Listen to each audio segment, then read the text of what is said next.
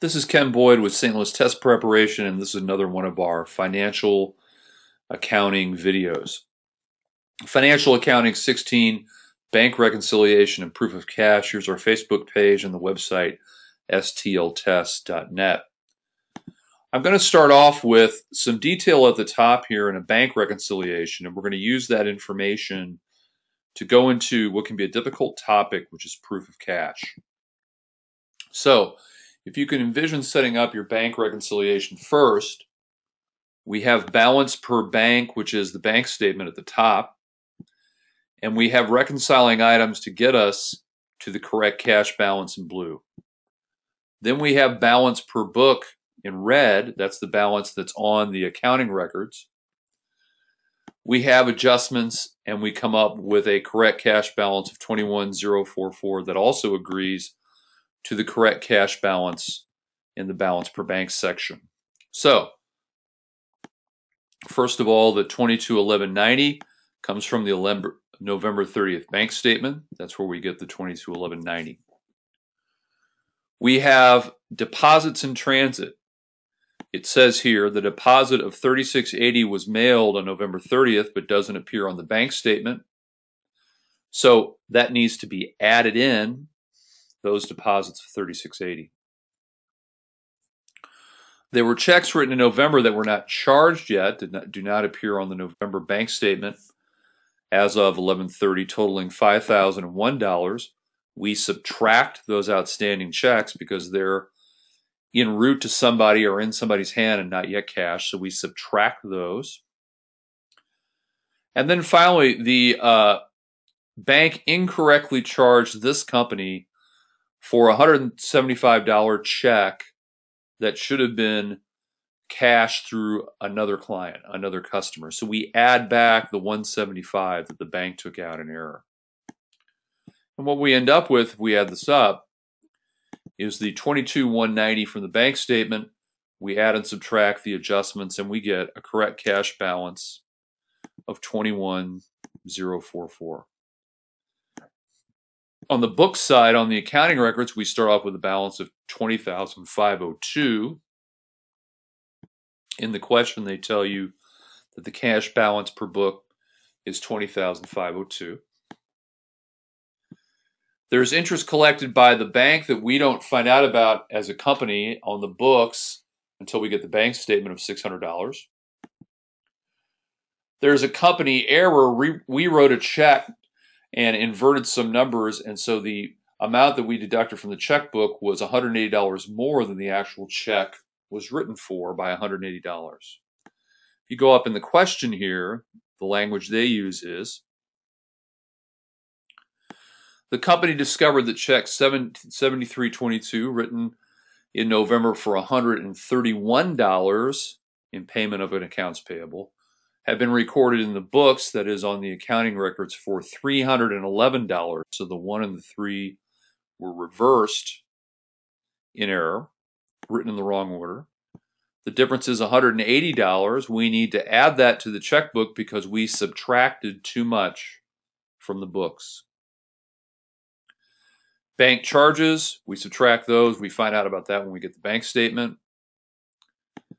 A return check, we need to subtract that because that check, that deposit that the book put down as a deposit, the bank did not pay. So we need to subtract that to get to the correct balance. And once again, the correct balance is the sum of the balance per the accounting records and the plus and minuses of the adjustments.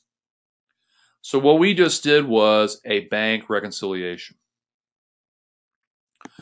Proof of cash that will at least start in this video is more difficult, and you can see the source, the Wiley source where I got information for this question. And I put down here in the notes that this method, proof of cash, is preferred by auditors, and it's preferred because you reconcile four numbers, as you'll see in a minute, rather than just one balance. That one balance is cash at the end of the period. You'll see the headings down below in a minute that you actually reconcile four numbers with proof of, proof of cash, the beginning and the ending cash balance. You also reconcile the receipts between the bank and the book and disbursements between the bank and the book. And it went on to say in the website, auditors frequently use this form because their main objective is, is to identify all the items that make up the difference between the bank records and the depositor's records, the depositor being the company. Now, I suggest the way you set this up is first of all, you put across the top these four columns the balance on October 31st, which was the beginning of the month, receipts during November, disbursements during November, and an ending November 30th balance. Now, bear in mind that the balance, this column matches the reconciliation entries that you did over here, with one exception. You'll see that the 2190, the 22190, the 3680, the outstanding checks are the way they appear. They appear over here just as they appear on the bank rec. 3680, 5001. However, the items in the bottom half, the adjustments to the books, these entries in proof of cash are actually reversed. So for example, in the bank reconciliation, this was a positive $600 interest collected by the bank. In the proof of cash, it's subtracted. One other, $180 error is added from, to balance per book to get the correct balance of cash, 21044. However, in proof of cash, that amount is subtracted. So these amounts are reversed in comparison with the amounts that we see on the bank rec. And that is because we have, we reconcile from the bank to the correct balance, the book to the correct balance, on the bank reconciliation. On the proof of cash, we go between two numbers. We go from the balance per the bank, which is the 22,190, and we compare that to the balance per book here at the bottom. And you'll notice that there is not a correct balance on the proof of cash. Those correct balances that we saw in the bank rec 21044 for both the bank and the book are not in the proof of cash. Instead, we go from the bank statement, the 22190, down to the book balance down here. So please note that difference. We reconcile from the bank balance per the bank statement down to the book balance per the accounting records, those numbers appear over here. So the balance per book 2502 matches the balance here.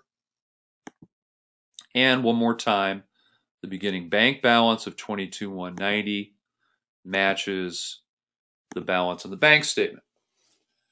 Now, what we do in between is the tough part.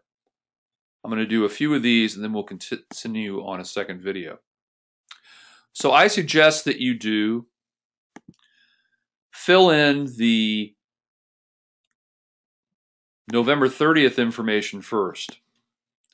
Fill in the information from the bank reconciliation, remembering that the entries toward the bottom are reversed. So do that first. Do the right column first. Then do a bank reconciliation for October 31st. And this is the last thing I'll cover in this segment, and then we'll do the receipts and disbursements on the next video. So we have a beginning balance per bank as of October 31st, per the bank statement. We have a balance per book, the balance of cash in our accounting records. We have deposit in transit at October 31st, deposits that have not posted to the bank statement. They get added back just like we did on November 30th. Outstanding checks on October 31st get subtracted. We saw the same thing over here on November 30th. And we add those up and we get the balance per book of 18,020 on October 31st. So fill in the bank reconciliation columns first. Put in the headings, and then the last step that we'll do on the next video is understanding the receipts and disbursements in the middle that are the hardest part of the proof of cash. That's as far as we're going to get right now. Remember that on the website stltest.net, we have our toughest accounting topics, topics that I'm asked about the most that I teach in a small group live chat. Here are the topics that I teach, and the dates of the meetings are updated all the time. And finally, the book, Cost Accounting for Dummies. I teach a chapter of the book online. Try to do it every week if I'm in town.